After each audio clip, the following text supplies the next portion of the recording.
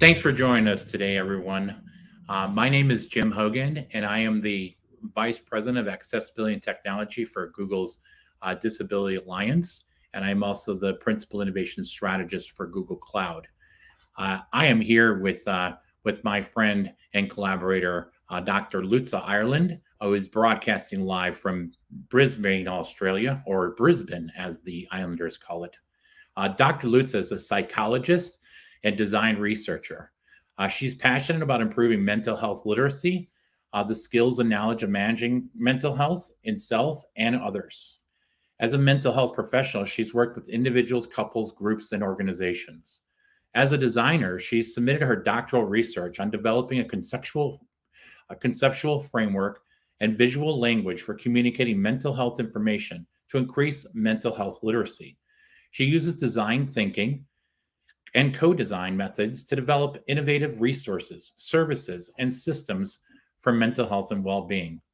Uh, Dr. Lutz is also a uh, award winning uh, uh, program developer and, and actually created uh, a thing that I stole her name called All Kinds of Minds that she won an award for. So, uh, so Dr. Lutz, I have a question for you. what does it mean to be a social designer? Great question. Um, social designers use design methods such as design thinking and co-design to conceptualize and try to solve and untease social problems um, or social issues that would benefit from some more hands on deck to be able to improve people's lives. So cool. So now I know that you and I have talked about this a lot, and the title the title of our show today has everything to do with neurodiversity uh, and and how to love, live, and and work better uh, by understanding neurodiversity. So, uh, would it be okay with you if I gave my definition of neurodiversity and and see uh, see how that how that resonates with you? Please do. And so the way that I describe neurodiversity is I start by describing what diversity is. So imagine uh, that I'm looking out at a giant amphitheater, and in that amphitheater is the entire population of Earth. So it's a really big place. And what I see are physical distinctions. I see uh, people that were born with blue eyes, like me. I see different hair colors, uh, skin tones, and and like uh, you know, all of those differences are beautiful, and that is what is called diversity. Uh, but what I can see is how somebody interprets the world around them and how their brain works. And as you can imagine, well, there's so many different physical distinctions. There's also a lot of different ways to perceive the world. Uh, and those are basically what we call neurodiversity. Uh, so, like diversity is everyone, neurodiversity is everyone. And for me, I was born uh, physically distinct with blue eyes, and uh, like somebody else I know. And I was also born autistic, which is a neurological distinction. So, so I identify as a blue-eyed, uh, neurodistinct individual. So, I don't know how I did, but uh, but you're you're a professional, Dr. Lutza. You tell me. No, you're absolutely a professional too, with lived experience as well, which is always very important. And what I really like about your definition is that it's able to grasp diversity both in its visible and invisible form. And I think what what gets really interesting with neurodiversity is that we are essentially talking about differences with the nervous system, but a lot of people may not know what the nervous system actually does for us, which is where it gets very interesting for mental health, bonding, and just generally well-being for humans. And you know, I do have a question to add on because it's in the title of our program today. But, but, but how does how does uh, how is love um, connected to neurodiversity?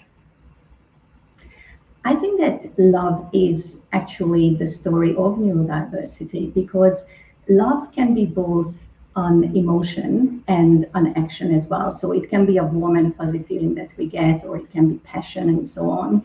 But it can also be what we do when we love each other, love someone, love a thing, love our work, and so on. So basically, with love, the function of love is to improve the quality of life through encouraging people to care for each other mutually. And that would result in resource sharing and bonding in a way that enables us to be stronger together.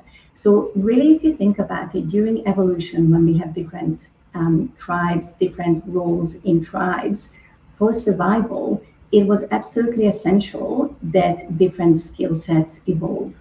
And when you think about different skill sets, our nervous system and our um, hardware, so to say, our physical body, needs to evolve in a way that enables different skill sets. So it's really um, a design trade-off that if you pack more in in certain areas, then some of the other areas may um, need to be um, taken away or modified because I mean humans really didn't really get a hardware upgrade for over a million years.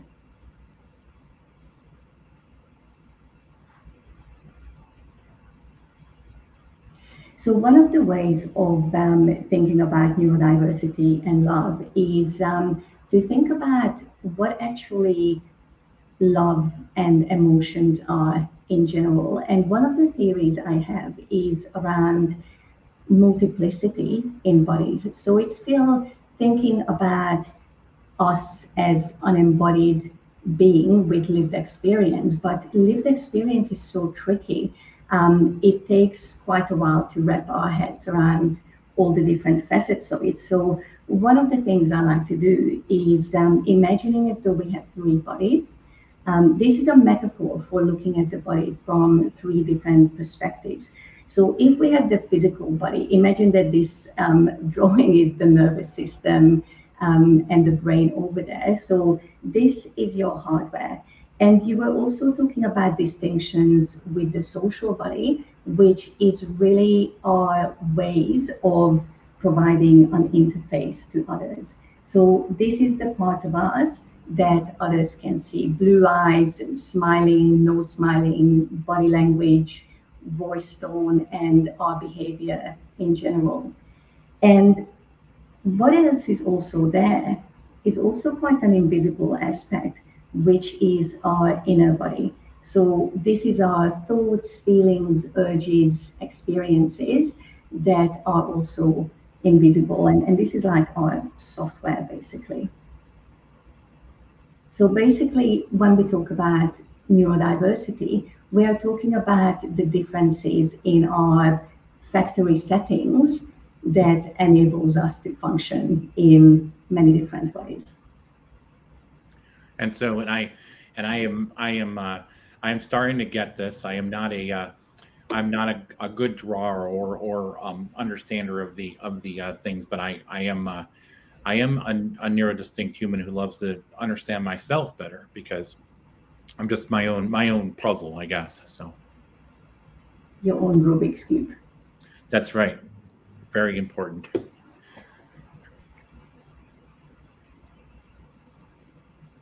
So really when we talk about love and neurodiversity, we can we can think about what can neurodiversity enable us to do? Because at the moment, often when we talk about neurodiversity or neurodistinct people, we can get very stuck on talking about disabilities, um, superpower, disability inclusion, and, and so on. But neurodiversity is so much more than disability and disability inclusion, it is literally everyone. So if we say that diversity is variety, then we can really universalize diversity and say that everybody is different and these differences are not only okay and something to be aware of and accept, but these differences are actually something to celebrate because these are the differences that enable us to love in a way of propelling us to share resources, innovate, and bond to each other to move forward as species. And hopefully um, as a universe as well, because let's not forget that we actually live um, on the earth, which, um, which is quite dependent on what we do as well.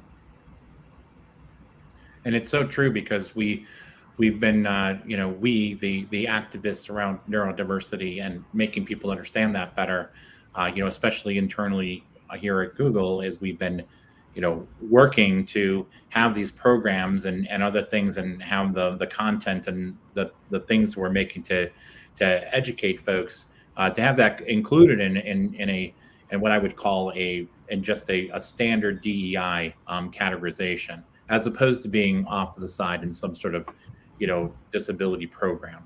Um, and so you know we've been working very hard to make sure that you know definitions of neurodiversity show up on our diversity internal site and things like that. So uh, you know those are those are all big wins for for everybody.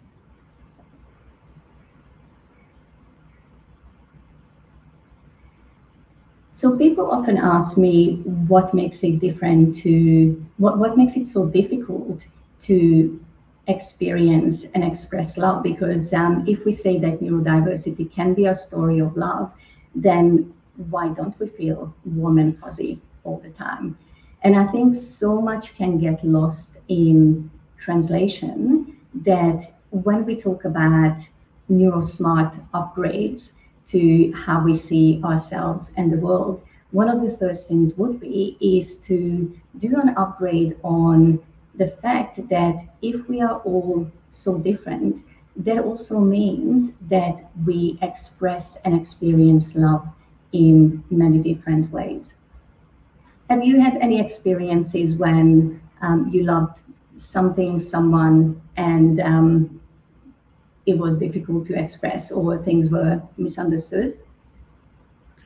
Yeah, I mean, all the time. I mean, my my biggest challenge is is uh, is the social side of the of, of things, and so I also have the you know not only being misconstrued or not saying something when I should, uh, you know, but uh, you know my my you know I'm trying to just understand myself better and and what all that means, and you know I try to separate the things between you know what is love? One of those things that i that i go deep on to try to understand you know what is this? And because it's a it's not only an act but it's a human emotion. It's a i love my job you know i love this project you know so and when you start to think about what that means it's it's really it really translates back to me to being that you know that psychological safety you know psychological safety between two people psychological safety between a group dynamic. So um, and you know and that's what i've i've learned and you know over the since since uh, since you and i've been spending time together i've learned learned a lot from you as well. So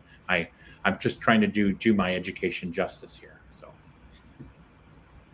But i think education is is also co-design in a sense that we are all learning from each other. And it's so important that you mentioned psychological safety because this is one of the things that um, that can be such a hot topic at organizations and and relationships as well. And one thing I think is very important to understand is when we talk about psychological safety, it's it's like talking about road safety. So if we say that we made a commitment to go on a journey together, whether it's work or personal life, then just like sitting in a car, psychological safety is like a safety belt. It doesn't guarantee that there won't be any accidents or mishaps. It's a guarantee to say we're going to try our best to protect you from seriously getting injured. Ideally, of course, not getting injured at all.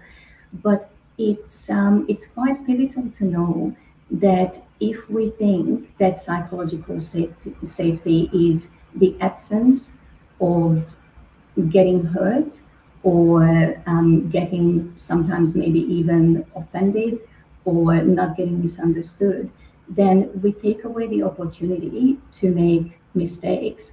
And what it means is we take away the opportunity to progress because life can be so complicated, communication can be so complicated that misunderstandings and occasionally um, getting offended, getting things wrong, getting hurt is actually a natural part of life. Um, as long as we are also able to repair relationships, apologize when needed, and then figure out a better way to move forward together.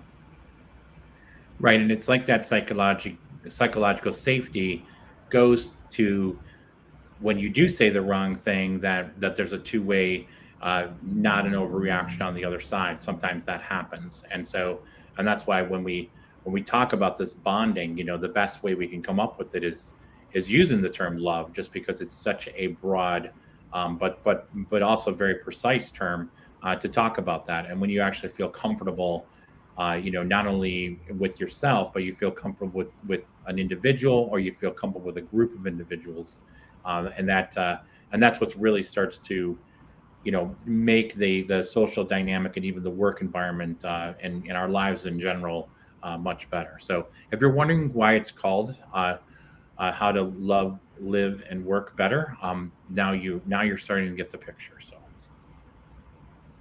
That's right. I, I think that love, in this sense, is really the underpinning of um, basically what motivates people. So we will always, always be stronger together with a group than what we are as individuals. So when we talk about reciprocity, working together, and and so on, that work together is really just working to have a better life for all of us. So work and life, um, as much as you can supposedly separate it, um, it's really what we do, but love and how we do it is ideally a reason. So love at work might be called inclusion, acceptance, um, belonging, and and so on. And in personal life, it can be romantic love, love between friends, parenting, and really there are multiple facets. People can absolutely love animals, causes as well. So when we start to look for it, there is actually a lot of love in our lives and it's so true. And when you start to connect that to to the, the terms we use in in a you know like belonging and you know and and belonging is is like love is is very elusive. I mean sometimes it's very difficult to find and and that's why when I talk about having found belonging, I I often make that clarification that that it's it's elusive to some and that's why I help you know people understand what that means and and uh, and I'm I'm very happy to be to be here with you so we can do that. So thank you. And I was thinking um, when we talk about love or really any emotions, there are three different um, three, different functions, purposes for having emotions. So, for example, for love, um, it's signal to self. It lets us know when we love something that this is important this is going to be worth the investment. It's going to be worth the commitment that we're going to make. Um, it's also to influence others. So when we feel an emotion, usually our expressions are hardwired, which is of course where things can get very tricky. So if you think back at um, at the three bodies, generally what happens is we have our nervous system and and our biology. So that biology will then influence a lot around um, how we express things. So if we feel love, um, even hurt, any any type of emotion, we have our biology which will react to an event. So this can happen that something happens. You may see, for example, a loved one, and often our biology just lights up. And what happens in our biology, that is what we translate as feelings. So feelings are literally the feeling of chemical changes in our bodies. It's how we make sense of, um, of our chemical changes. So when we have that in our inner body, that also comes with a reaction that others can see. So that might be that we start smiling wildly, um, gesturing. But what's really interesting with neurodiversity is that the social body that others can see can be actually very differently wired because of our biology. So it could be that someone is very loving and happy to see another person, But if they have, for example, quite flat facial expressions, then that also means that they may not express it in what we usually think is the traditional way of love, which is wide smiles and um, blushing and getting really physically um, high pitched. It might be that someone is very much loving and enthusiastic and passionate about something, and they can present quite flat um, and monotone, which, of course, to the other people who only see the interface because everything else is invisible, that might make the individual appear bored or they don't care. Um, and I think a lot of a lot of misunderstandings happen with that. And we talk about that a lot, like my lack of affect and something that I have to really, you know, overcompensate uh, for sometimes because sometimes I'm not my facial expression just isn't uh, isn't expressing how I feel. So I mean, I even like I don't even I don't even smile when I finish this Rubik's cube. So, um, you know, basically, you know, it, it's uh, it's nice to hear the um, you know the three body approach to explain that that sometimes that there's a lack of affect and and why we should be understanding around there. So. Yeah. So expressions basically usually motivate others to learn something or feel something themselves as well. So if um, if you have what others experience as a loving expression, the influence on them is to reciprocate, ideally. So that moves them into a loving um, experience as well. So when we don't understand how someone experiences or expresses their love, passion, and so on, um, we can really miss opportunities for bonding. Um, and of course, what it means as well is that we miss opportunities to generate love because emotions are often self generating. So the more you feel, the more you express it, will then influence and prompt others to do and feel something in relation to that. And of course, the third um, the third function of emotions is to motivate action. So for love, it can be um, for example, to um, to make a commitment, to invest into something, to provide care, um, to do something that improves lives in general. Mm, so, so intuitive.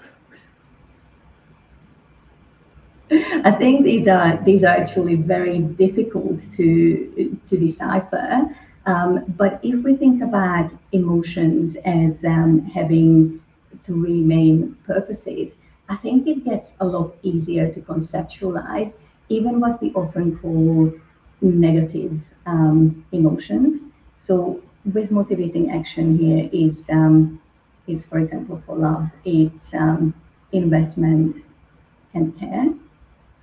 But if we think about love, then I think we also need to think about hurt as well because they they kind of go hand in hand and the reason for that is hurt and all the other emotions that might be unpleasant they are not actually bad emotions they just feel unpleasant but they also have um, a purpose so if we think about what hurt might be what do you think it might signals to self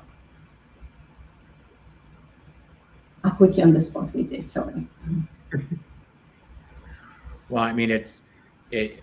You know, I believe that hurt probably um will will will come from that that lack of reciprocation. You know, of an expression. Um, you know, and it's and it's not just in a romantic relationship or any family relationship, but in even in the workplace.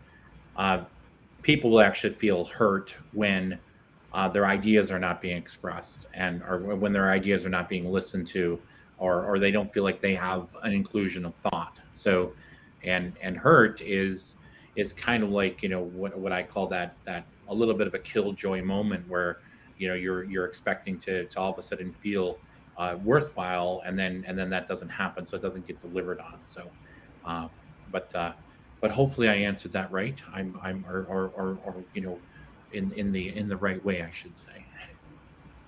I, I honestly think that there are no hard and fast answers. It's it's all about just having a different mindset in thinking, what is this emotion trying to communicate to me? And and hurt is often, as you say, it's things not going well. Um, so if we think about things not going well, um, what what might that motivate for an action? Ideal case scenario. And and what would what would uh, motivate motivate an action? Mm, what what action would it motivate? So if things are not going well, what action might be something that um, that can be useful to say, okay, this is not going well. What can I do? Um, I believe that that you know when when something isn't going well, that's when you stop to to ask questions for clarification. You know, and, and why isn't this going well? Because the way that I'm reading something, it should be going well, but uh, but now I'm going to stop and and and basically kind of go back and and you know ask those those questions that are going to going to try to get to the bottom of it.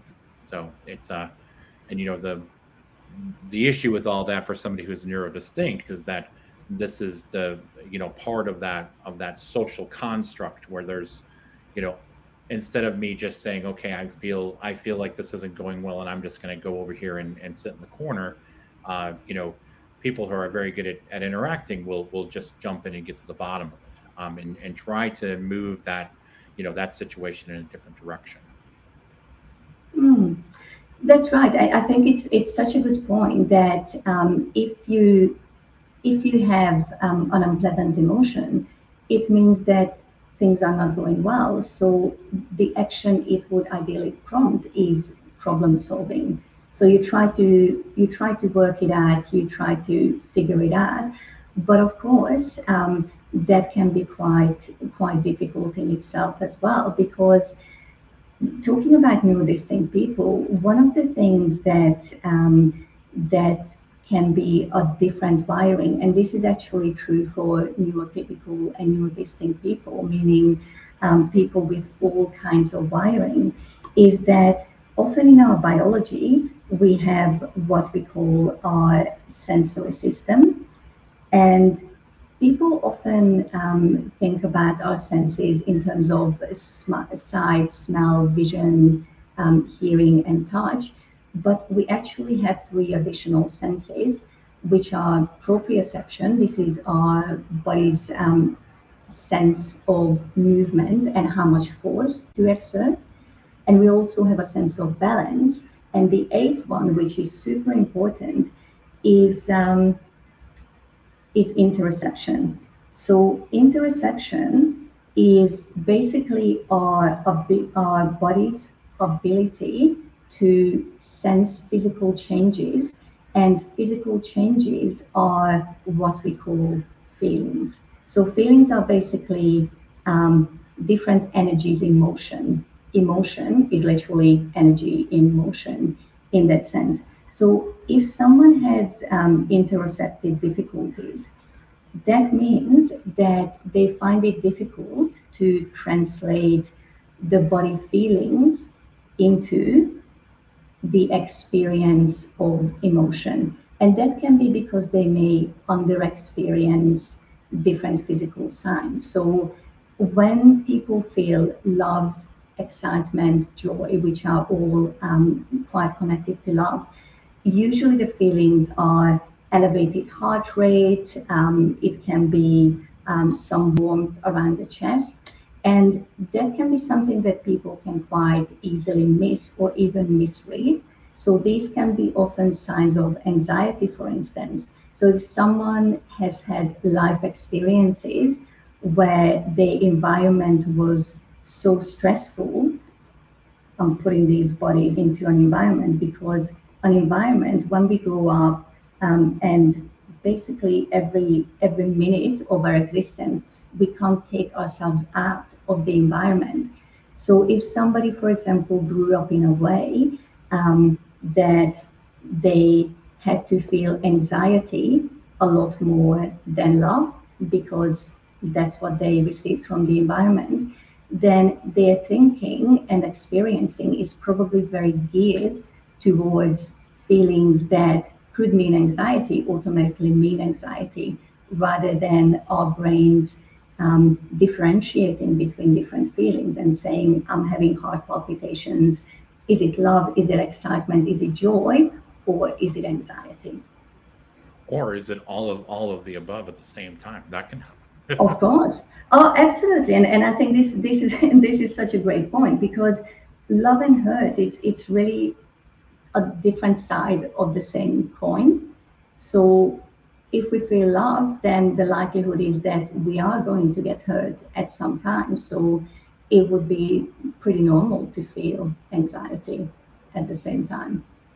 And it's often when we're in a situation that we're we're going through and maybe we have this immersive belonging and we feel like, you know, I've achieved everything at the workplace that I need and then and then something happens where you know maybe you do say the wrong thing or maybe somebody miss you know you're trying to contribute and, and maybe your idea isn't being heard and it seems like the deeper you get into that uh, you know the side where where you have you know a deep state of, of belonging or or a deep state of, of you know what could what could be described you know work love um, you know the hurt you know comes harder and it's almost harder to recover from it's like when you mm.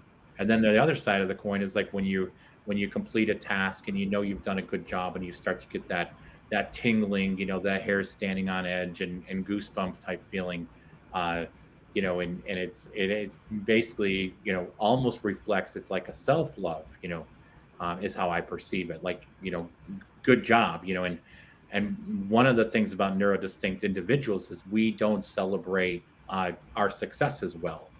We just kind of move along and it's like a very middle of the road and, and and that's why it's so very important for for people to uh, to celebrate all their all their little victories along the way. So and why I I solve this Rubik's cube like 75 times a day because I know that I'm going to get to the solution and it's going to be it's going to release that dopamine and I'm going to feel great. And I love my Rubik's cube even though it's a it's a Rubik's cube. So.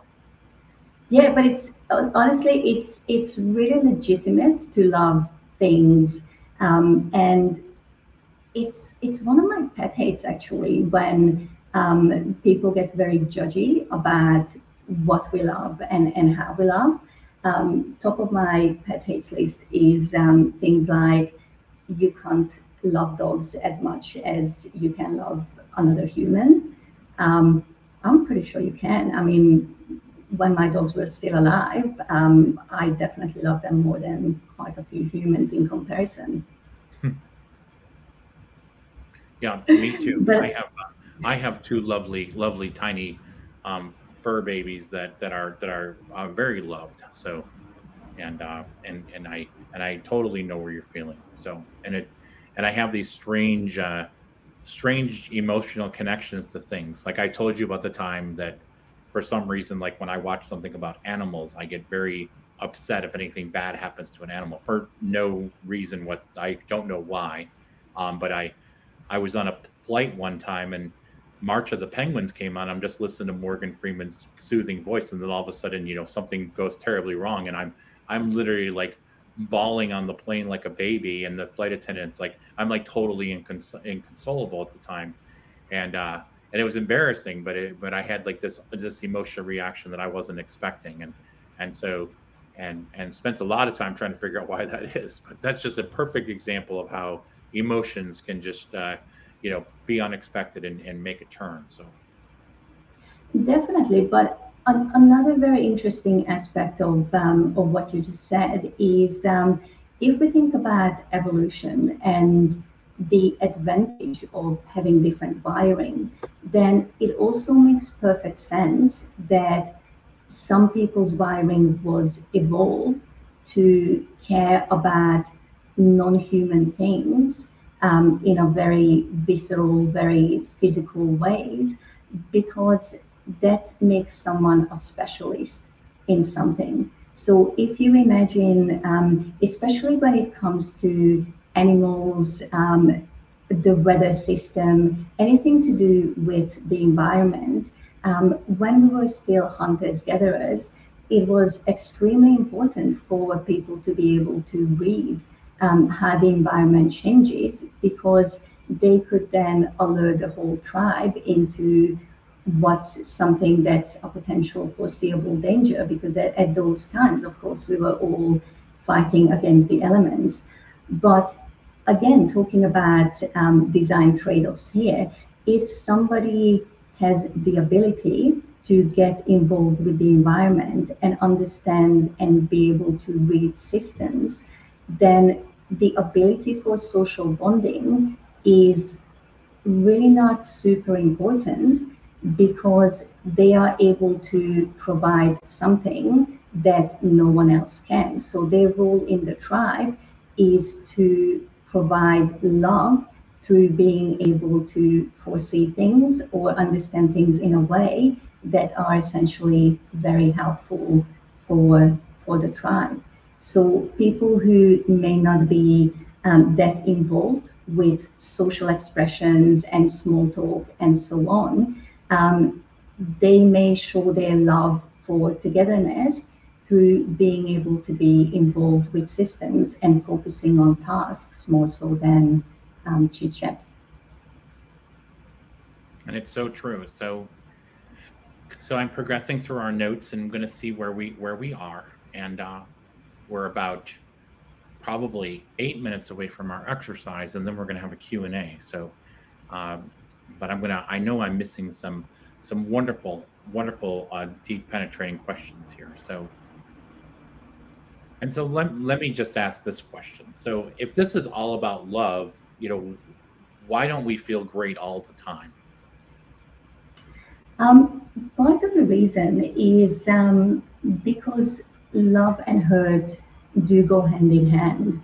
And when we don't know how we express love, we like to receive love and how people are actually feeling because often the way we express love, we assume that it's the same for other people as well. So if it's not how we receive it, um, then we may get very disappointed um, and that goes into hurt.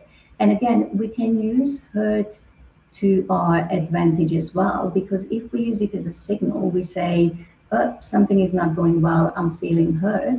Ideally, if we are able to express that hurt, then that would influence others to support us and provide care and help us to problem solve, for instance, or repair relationships. And it can, of course, um, motivate actions to, to problem solving. So, one of the things that happens with love, or when we are working together on something, when we live with someone and, um, and we feel hurt or feel the absence of love, is we may withdraw. So, instead of expressing what's going on, um, we may tend to just turn into ourselves. Um, and that can cause a distance in the relationship that makes it very difficult for love and hurt to do what they are supposed to do because they are not expressed in a way that others are able to receive it. Or in some instances, um, people may um, act and express um, their hurt through anger and then a lot can go, um, of course, airy, especially if that goes into aggression, because that is something very different that can be um, sometimes quite harmful. And I'm talking about aggression here. If people are able to express anger and hurt in ways that are appropriate and helpful, that that can actually increase the amount of love that people have together.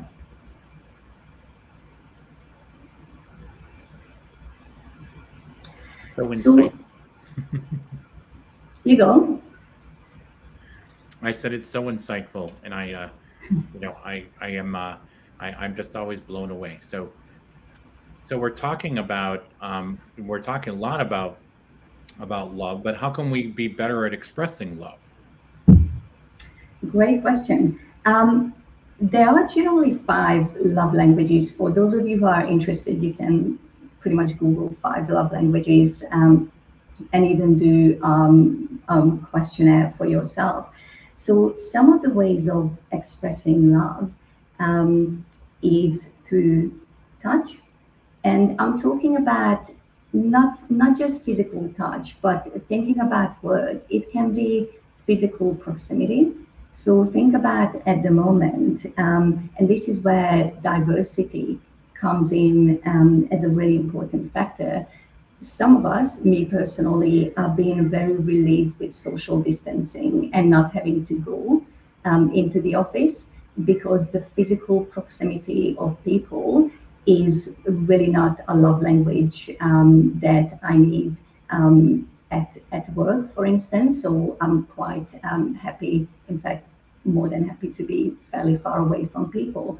But those of us who may like touch and physical proximity, um, they tend to really miss the office and the physical togetherness with someone. And even with personal lives, people living in isolation can go into touch hunger where they crave touch, not, not just necessarily human touch, but any touch, um, including having an, an, animal around or, or just any kind of skin contact.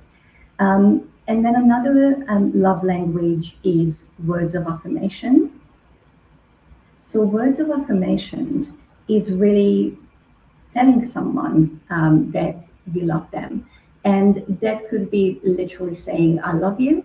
It can be um, affirming someone's importance or worth. So that's why in a work um, relationship, KPIs and performance reviews can be so important because they can provide opportunities for feedback that can really reward people in giving more of an understanding as to how important they are and how meaningful their jobs are. Um, and if it's not being expressed, it can be really a missed opportunity. Um, and then we have quality time so quality time in personal relationships can be literally spending time together where people are having their needs met and um, do whatever the other enjoys. Or for many neurodistinct people, that can be quite um, a parallel play. So everybody does what they enjoy, but um, they are doing it um, as as a shared um, activity without necessarily participating in each other's um, activity as such. Okay, I need to get back to my words. Um, and then there are gifts as well. So in a work situation, that can be bonus. Um, and in, in personal lives, it can be literally buying presents for someone else. And the last one is acts of service.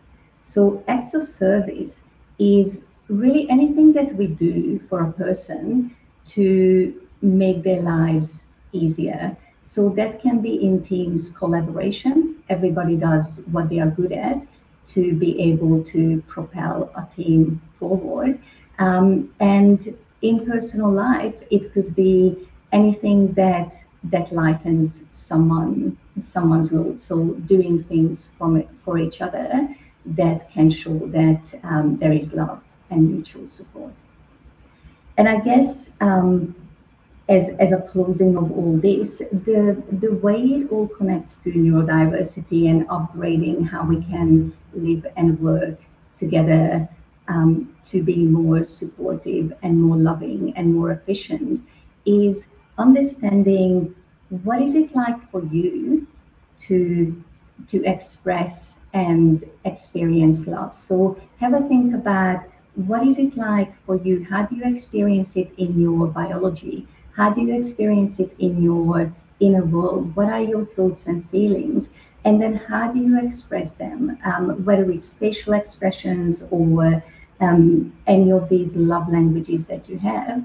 And then start decoding each other and share around it so that we create a culture of sharing around how different it can be that um, we have all these really valid ways in which we can help each other and experience love.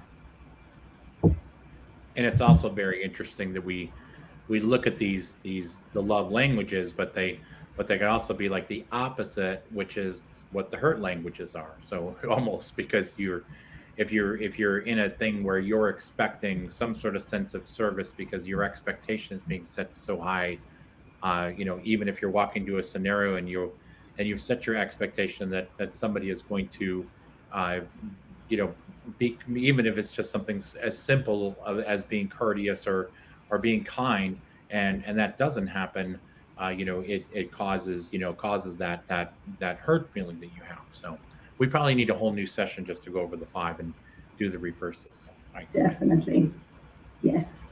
And so we talked a lot about, you know, trying to get your um, your voice being heard when you're in a when you're in a setting. And let's say you're in a, a workplace and you're on a team and you're trying to uh, make a product better or something, or or what we would call innovate, uh, or or what my world I would call innovate. And and so this is when we're going to ask the ask the audience uh, to put in the chat, uh, uh, because what we're what we want to know is when somebody is actually trying to contribute to the the the situation. Uh, sometimes there's a there's there's there's words that are used that or behaviors that are used that that can come back and say like there's a there's a fine line what i'm trying to say between being annoying and being innovative so uh, so you're and and so sometimes people will throw throw out uh, you know ideas or thoughts that that are doing so what we were going to ask for uh, and you don't have to name anybody's name but if you're listening and you can put it into the chat uh, what would you describe as as an annoying behavior um, when you're when you're working on a team? And dr so basically right. Yeah absolutely. We we basically work on this um, strength-based approach to think about how can we reframe um, annoying behaviors as innovative behaviors. So I think um, because, as we were talking about it, love and innovation doesn't make us feel warm and fuzzy all the time. And a lot of it is because um, things get lost in translation.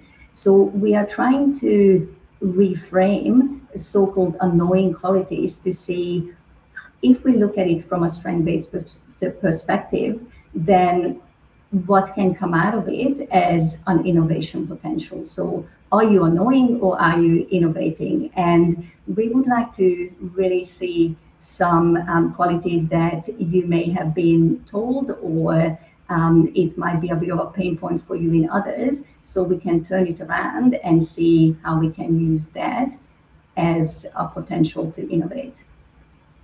Right, and we and we have something coming. Hopefully, these aren't comments about my my uh, my talking style, but I did I did get the talking too long and not actually saying much of value. So um, that was just a joke, by the way. I'm a joke maker.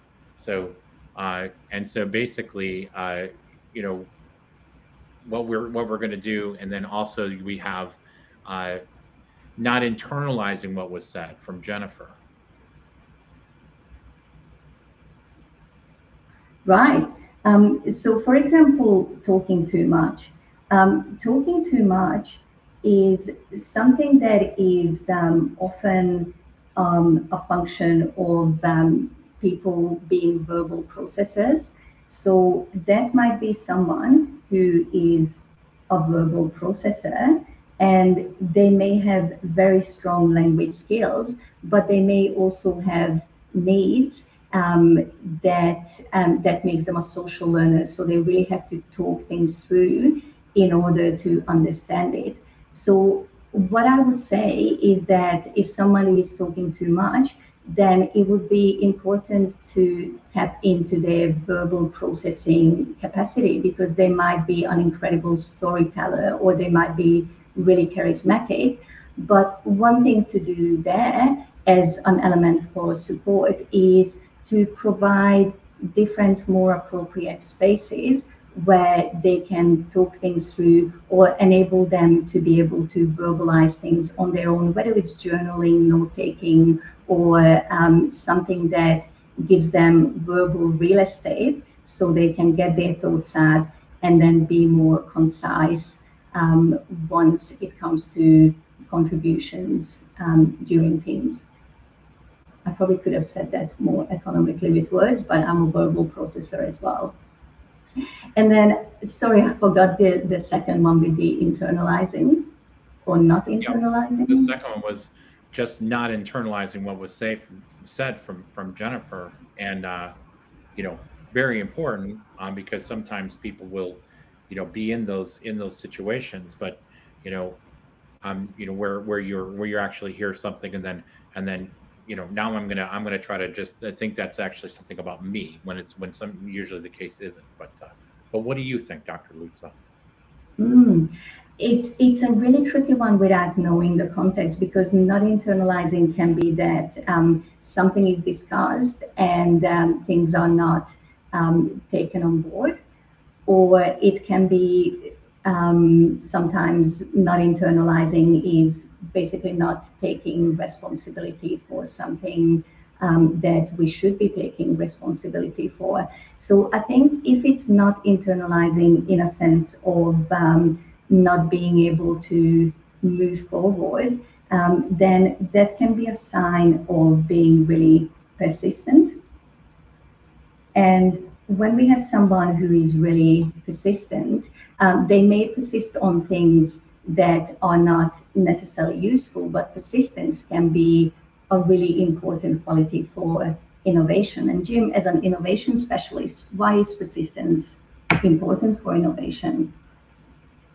Well, sometimes it's, uh, you know, when we talk about persistence, so sometimes an idea gets thrown out multiple times before it sticks. And so, um, and I think that you know it's it's very it's very important to uh, to hold hold true to to what you believe is is the way it is um, because sometimes after somebody has said something in a group discussion what you said 15 minutes ago has way more value and so sometimes people will say it again so uh, usually the you know some one of the one of my defects is i'm usually the first person in the room to to understand what the answer is and and it's about keeping my mouth shut and letting everybody talk before um, before I do that. So because I don't want to be overbearing, and it's like uh, it's like what Nick just put into the chat. He said finding the hard balance between being respectful and paying attention, and trying to be efficient when meetings are are long and irrelevant. So because a lot of people just want to cut to the chase, right? So, um, and and it's uh and it's a it's a really good really good comment. So. Definitely, and, and and you are talking about diversity there so much because persistence is also important in um, not giving up. So it's it's also around um, wait being able to wait things out because it's really good if we have a mixture of people who are high risk takers, quite impulsive, quite action orientated. But it's also important to balance it out with persistence and cautiousness um, because that balance is what can create um, sustainability. I'm getting a lot of lot of private comments that, that everybody wants you to come back. So um, basically, I'm going to move on to Q and A because we have to because we're running out of time. So um, I'm going to bring up the the first question is is uh, is Nick's question that he asked early on. It's hard to know the pieces of a mind that might be missing or different relative to a typical person how does a person figure those out? I'm trying to think about um, understanding this um, this question. Um, what I what I understand from this question is um, it may be referring to some of the different ways of processing for neurodistinct people compared to a neurotypical person. I don't actually think that there are any pieces missing. I think that people can be really complete as they are if the environment um, offers the type of support that enables everyone to live according to their best self. So this is not to say that um, we are amazing as they are and we shouldn't strive to to be better um, at things. It's quite the opposite. It is just to say that we are not supposed to be good at everything. We, we're just really not. And that is why we have different factory settings because there is no one human who can be great at everything. And the reason why it's um, really not something to strive for as well is because we have different roles and different values that we can we can bring to the table. So instead of thinking what are the things that we are not so good at, let's think about what are the things that we are good at, what are the things that we can contribute, and let's look at each other with that lens as well. What what are the good things about this person? What can we achieve together? And I have our next one is not a it's more of a comment, but uh, but it comes from uh, from somebody we both know. So let's let's take a look at that one. Uh, it's from uh, from Tim, and he says, uh, "What a cool, super cool drawing tablet you have." So so in, in thank you, Tim. As some of you some of you may know, Tim and I, uh, you know, Tim is my vocal coach. So if I'm doing terrible with my voice, you have to call Tim. Uh, and Tim actually introduced me to Dr. Lutza, so um, a long time ago. But now, and also, I want to I want to move to the to the comment, uh, the Nicholas on comment at 214. Um, it's it's more of a comment, but I wanted to I wanted to cover this um, because, you know, he identifies as an autistic extrovert. So as an autistic extrovert, it's really easy to be misunderstood. And there's nothing quite like a psychologically safe workplace for me, especially one in which people are willing to understand this. And because it's not just about uh, people actually being keeping to themselves uh, as a trait of being autistic. You know, I'm the same way. Like I'm, I'm usually when you get me in a social setting, I'm kind of a social butterfly, although I have a little bit of anxiety around it. But um, but I don't know if you've if you've encountered the uh, the autistic extrovert, Dr. Lutza. Definitely, but I think um, as far as um, as psychological safety goes or misunderstandings go, it's very useful to to really highlight specifics um, and talk about autism. We do like to highlight specifics quite a bit, but in any case, if we want to really take advantage of neurodiversity, then a culture of sharing needs to be very specific to what are the things that need to be supported and what are the things that are going well. Because if we say um, blanket statements like I'm autistic or um, I've got a booga booga disease, basically there are so many different ways of being, not to say that autism is a disease, just to um, get that out in the clear, but we have so many different ways of being that the blanket statements that provide labels, unless somebody knows them and are intimately familiar with them, um, it's not necessarily helping the environment to understand what it is that we need and what it is that that we are good at.